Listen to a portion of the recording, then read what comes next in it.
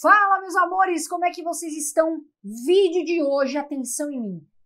Fundos imobiliários que estão baratos, que estão com belíssimo desconto e que são muito bons. Inclusive, já vou deixar aqui que o terceiro fundo que eu vou falar, eu não tiro da carteira, ele vai comigo até quando ficar bem, mais bem velhinha mesmo. Não tiro da carteira, nós vamos falar disso hoje. Eu trouxe aqui esses fundos, qual será que é? E trouxe toda uma explicação para você, mas antes de mais nada, meu amor, eu vou pedir o seu like como forma de agradecimento, como forma de gratidão.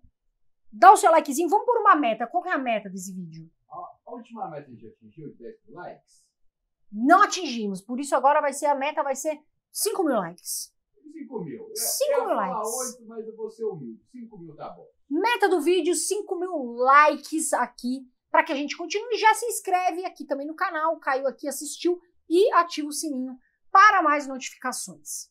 E vamos a ele sem muita enrolação, o nosso primeiro fundo imobiliário, que é o JSRE11, que é um fundo do tipo lajes, ok, pessoal? As lajes que estão voltando agora, está barato, as lajes são boas, tá certo? E estão começando a voltar, as pessoas estão saindo aí do trabalho home office, estão voltando, né, a ficar nos escritórios, a gente precisa dessa humanização, aliás, eu sou a favor, a gente precisa ter, né, o grupo, a equipe ali junto, e as lajes que estão voltando, mas ainda muito descontadas. E agora vamos ver o fundo no Investidor 10, que aliás é o site que eu uso muito para ver fundos imobiliários, ações, enfim. Vamos dar uma olhadinha em alguns dados. Olha só, uma cota do fundo aí 67,73 centavos. No dividend yield aí dos últimos 12 meses ele pagou 7,96%.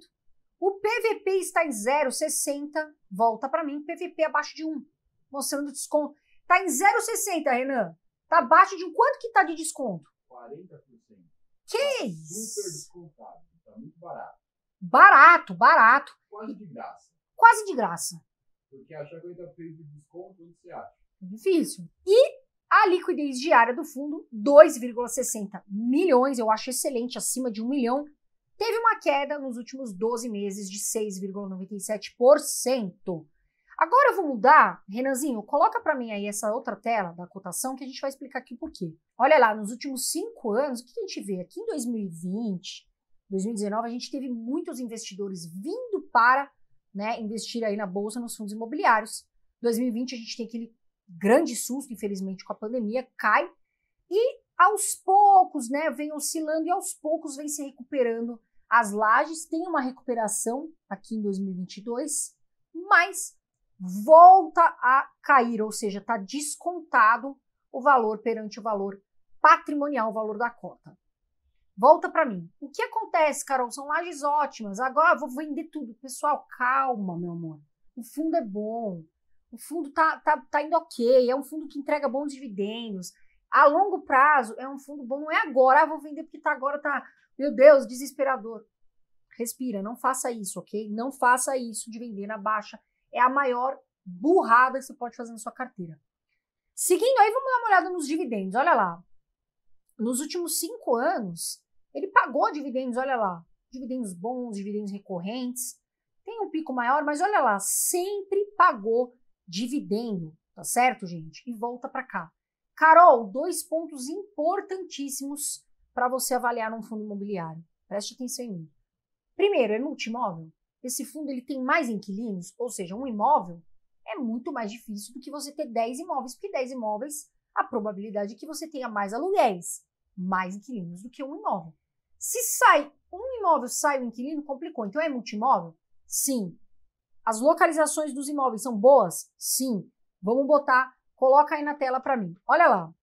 São Paulo, região né, extremamente forte na economia, tem seis ativos e Rio de Janeiro tem um, olha lá. Edifício Paulista, é, Torre Marble, aqui ó, Tower Bridge Corporation aqui, edifício Praia de Botafogo. Então, quer dizer, tem boas torres, tá, gente? Presta atenção aqui. Está em São Paulo e está no Rio de Janeiro. Agora a gente vê o que? A vacância. Né? A vacância está muito grande, ou seja, está muito vago. Olha lá, a gente tem aqui 8,60%. Tá? O resto está ocupado.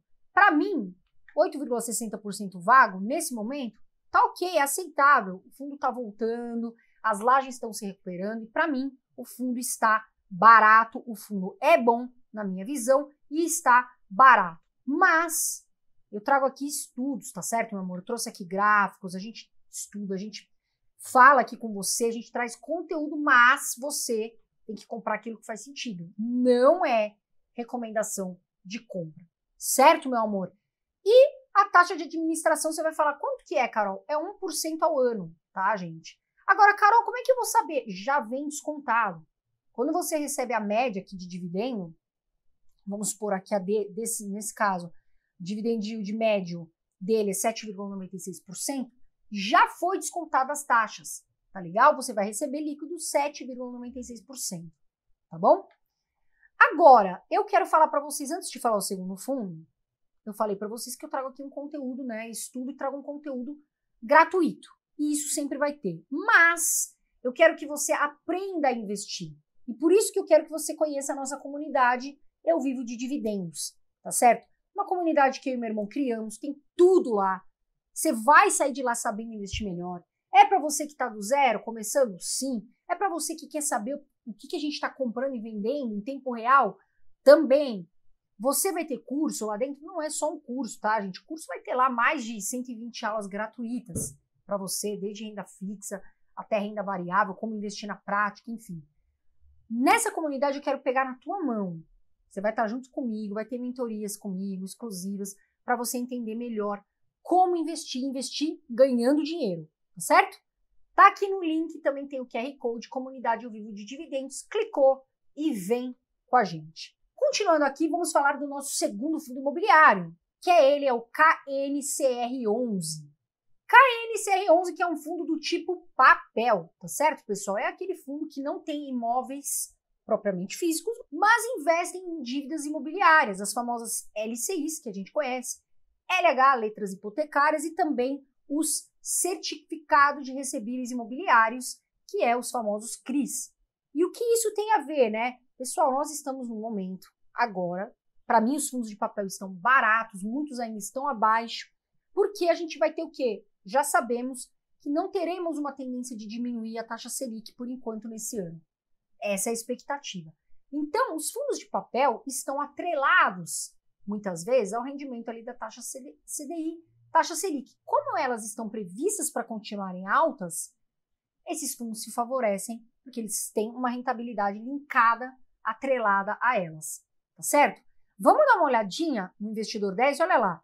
KNCR 11, olha lá, uma cota 99,35 Dividend yield entregou aí bem nos últimos 12 meses, 12,44%.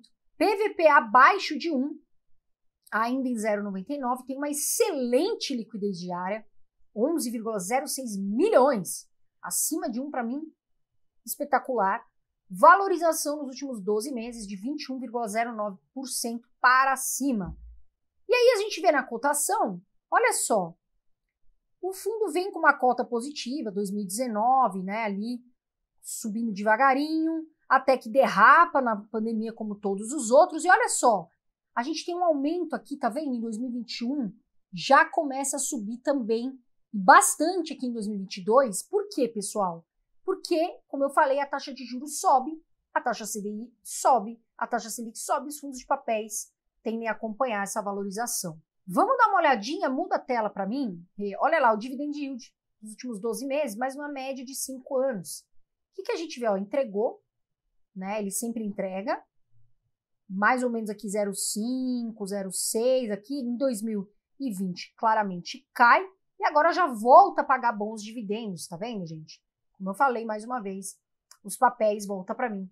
E aí, como eu falei, os fundos de papel, como a gente vê aqui, não só o caso do KNCR11, mas outros, vão continuar se favorecendo nesse momento. São fundos de papel, estão atrelados à taxa CDI, estão atrelados aí, né, são ativos de renda fixa, que estão, né, nesse momento se favorecem e, na minha visão, não tem uma previsão de queda. A taxa Selic vai ter que se manter alta, vai ter que se manter nesse patamar, até para ter o nosso famoso controle da inflação. E eu falei para você aí que eu tinha um fundo imobiliário que era o terceiro que eu tenho na carteira, que eu amo, que é um dos meus queridinhos e que eu não vou tirar da carteira. Essa é a minha opinião, vai ficar lá na minha aposentadoria. E eu trouxe aqui para vocês. HSML11, que é um fundo do tipo tijolo que foca em shopping center. Tá certo, pessoal? Então, veja, vamos dar uma olhadinha, um baita fundo. Coloca aí na tela para a gente dar uma olhada. Investidor 10. A cotação aqui em 80,90 centavos. Entregou bom dividend yield aí nos últimos 12 meses, mesmo com o shopping sofrendo, 8,95%. PVP em 0,84%. Desconto nesse fundo incrível, na minha opinião.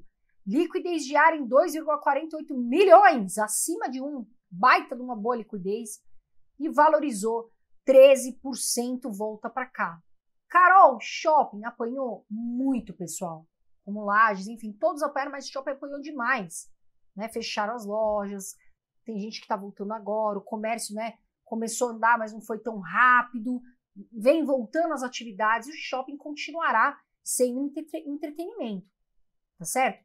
Vamos dar uma olhadinha, olha lá a cotação que a gente vê nos últimos cinco anos. Se você abre aqui o investidor 10.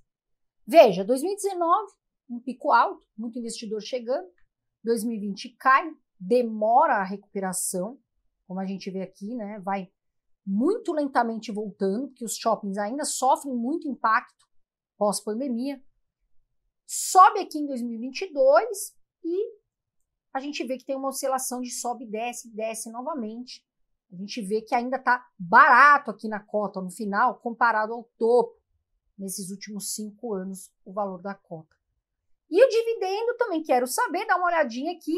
Dividendo de pago aí nos últimos cinco anos, ó, sempre pagou dividendo, derrapou na pandemia, o que era normal, a gente sabia, sabia que isso poderia acontecer, aconteceu. E volta a pagar dividendos, teve um bom pagamento nos últimos 12 meses, para mim, volta para cá. É um fundo muito bom, um fundo que vale a pena, é um fundo que ainda está descontado, na minha visão. Aliás, tem muito fundo imobiliário descontado. Tem gente que está fazendo um movimento inverso. Está saindo dos fundos de ações. Gente, tem oportunidade. Está cheio de oportunidade na renda variável também. Então, nesse momento, a gente não vai passar, nossa, meu Deus, eu vou perder minha carteira, eu só invisto. Calma. Tá tudo bem, a gente já passou ciclos mais difíceis, ciclos mais voláteis, estratégia de carteira agora é muito importante, mas nós vamos continuar investindo. O Brasil vai continuar crescendo. Tipo de gestão desse fundo é ativa, olha para mim, ativa, ou seja, o gestor pode modificar ali, de repente, investir em shoppings diferentes, mexer na carteira para buscar mais rentabilidade, tá certo? A gestão é ativa. Taxa de administração desse fundo, 1,20% como eu expliquei para vocês, já é descontado lá dos seus dividendos. No, no final você recebe só dividendos líquidos mesmo, a taxa já foi descontada. A vacância desse fundo em 4,20%, uma vacância baixa, na minha opinião. E pagou aí no último rendimento, também pagou 0,70 centavos. Agora volta para cá, eu quero saber o seguinte, é bom? São bons shoppings? Será que vale a pena ainda ser sócio desses shoppings? Sempre vale, porque nunca vai deixar de ser a diversão do brasileiro. É a diversão do brasileiro. E coloca aí na tela, olha lá o que, que a gente vê aqui. São Paulo tem dois shoppings, Minas tem um, Bahia tem um, Acre tem um, Alagoas e Rio de Janeiro, ela tem o Shopping Granja Viana, tem o Super Shopping Osasco, aqui são alguns deles, né? Shopping Pátio Maceió. Volta para cá, são bons imóveis, multimóvel, bons imóveis, estão aí em capitais. E agora vamos para o nosso quarto fundo imobiliário bom. Muita gente conhece. Depois eu vou perguntar se você investe. Que é ele, é o IRDM11. É um fundo do tipo papel. Vamos dar uma olhadinha aqui em alguns indicadores do Iridium que muita gente fala, muita gente tem em carteira. Eu quero saber, depois a gente vai perguntar para você no final. Olha lá, cotação R$ 90,59, ou seja, com 100 reais você poderia comprar uma cota desse fundo. Nos últimos 12 meses pagou aqui uma lambada de dividend yield, 14,41%. PVP abaixo de 1 em 0,98, ainda descontado perante o valor patrimonial. Tem uma bela liquidez diária, 4,80 milhões, acima de 1 milhão, para mim, considero super ok. E a valorização teve queda de 6,21% nos últimos 12 meses. E aí a gente vê aqui a cotação do fundo nos últimos cinco anos, tá, gente? A gente vê que agora tá longe o valor aqui na ponta do pico que já bateu o valor dessa cota. Continuando, dividendos, olha lá. Paga dividendos, tem dividendos que pagam, né? É, ele tem aquelas volatilidades de dividendo, mas sempre paga bons dividendos, tem quedas, tem altas, e nos últimos cinco anos sempre pagou os cotistas. Volta para mim, pessoal.